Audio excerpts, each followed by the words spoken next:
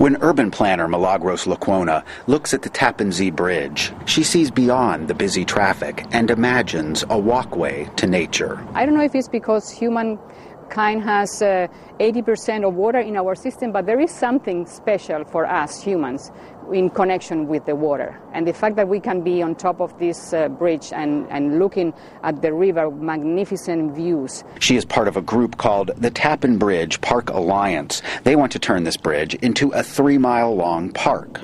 It would be filled with trees, grass, benches, artwork, people walking, jogging, biking, all over the Hudson River. It was just a fanciful idea until last month when Governor Andrew Cuomo asked his staff to study whether it would be really possible. The bridge is 56 years old and must be replaced because it no longer complies with vehicle safety codes for the interstate system. Plans for the new bridge to be built nearby are now being drafted. And the question of the old bridge is exciting one of the main questions is you're designing a new bridge. What do you do with the old bridge? The expectation was you take it down. To take it down costs about $150 million. Uh, what they're exploring is could you leave it up and turn it into an amenity, a greenway?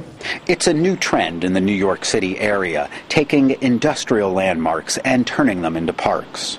In Manhattan, Robert Hammond is one of the creators of the High Line. It's a park built on an old elevated railroad line.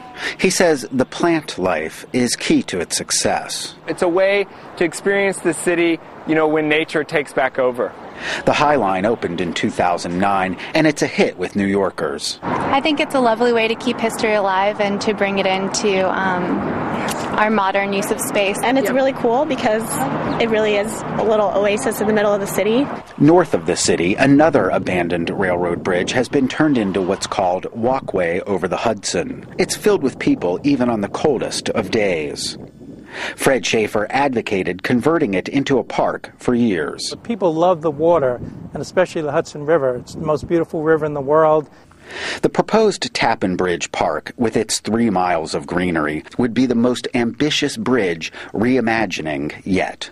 Ted Shaffrey, Associated Press, Tarrytown, New York.